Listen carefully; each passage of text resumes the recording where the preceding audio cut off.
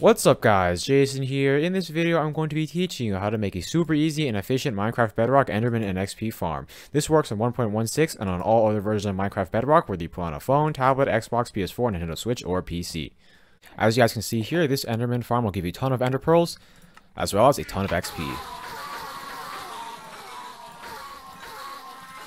For this farm, all you'll need is about 9 stacks and 40 solid blocks. You guys can use any solid blocks that you want about six stacks of slabs. You guys can use any slabs that you want, nine hoppers, eight buttons, and two chests.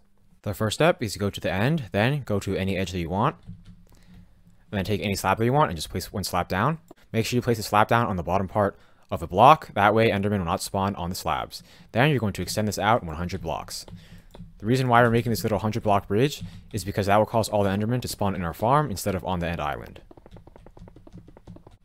After you have finished making your 100 block slab bridge, then you have the option to add a guardrail. If you want to add a guardrail, just place a solid block over here, then place a slab on top.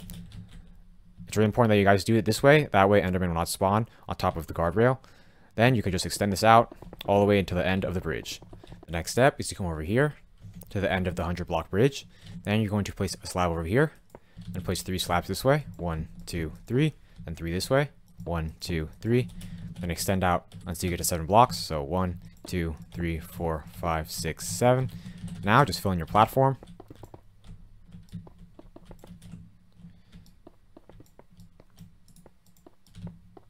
Once you have finished creating your 7x7 block slab platform, then I recommend that you add a little guardrail around so you don't fall off. So just take some slabs and just place them all around, just like this.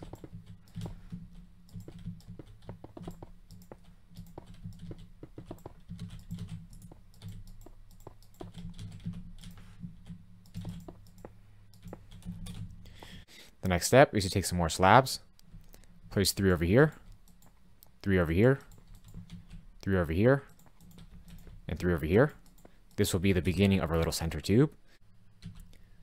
Once you guys have done this, you're going to take a double chest and just place it down right over here and come behind it, crouch down, and place three hoppers. The hoppers should all be funneling towards the double chest. That way you will be able to collect all the ender pearls. Then you come over here, crouch down, and have these hoppers funneling towards the middle hoppers and come to this side and do that once more.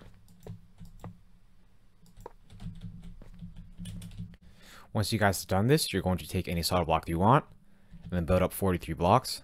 1, 2, 3, 4, 5, 6, 7, 8, 9, 10, 11. Once you have finished creating your 43 block tall pillar, then you're going to want to repeat this on all the other sides until you have finished creating your 43 block high center tube. After you guys have finished making your 43 block high center tube, it should be looking something like this. Then you're going to come to the top, and once again take any solid block you want, and then place one in each of these corners. After doing that, you're going to pick a side and extend out five blocks. One, two, three, four, five. Then go to another side and extend out five blocks. One, two, three, four, five. And do that again. One, two, three, four, five. And finally do on this side. One, two, three, four, five. This would be the outline for our Enderman spawning platform. Then you're going to just take some solid blocks and fill in the entire platform.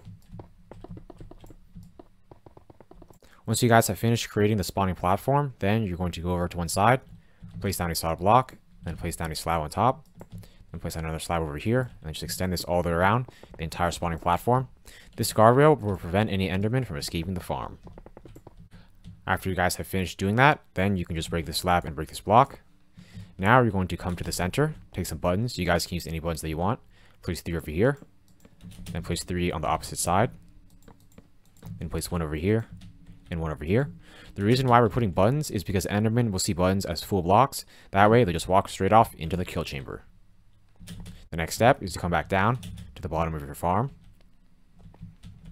Then you're going to break these three blocks. Then break these three as well. Then break, break these. And finally break these. Then you're going to take some slabs. Place three slabs over here. Three slabs over here. Three slabs over here. And three slabs over here. This will create a little gap so that you'll be able to one-shot kill all the Endermen while not getting attacked. At this point, your farm should be ready to go. All you have to do is wait down here. Endermen should start spawning up on that platform, and they'll soon start coming down. When they're down here, you can just one-shot kill them with your fist. That way, you get all the XP and all the Ender Pearls. By the way, guys, if you use a looting sword, then you'll be able to get more drops at a time. I hope you all enjoy learning how to make this super easy and efficient Minecraft Bedrock Enderman and XP farm. Let me know if you guys have any questions. Please like, comment, subscribe, and check out my other Minecraft videos. I upload every day. Thanks for watching.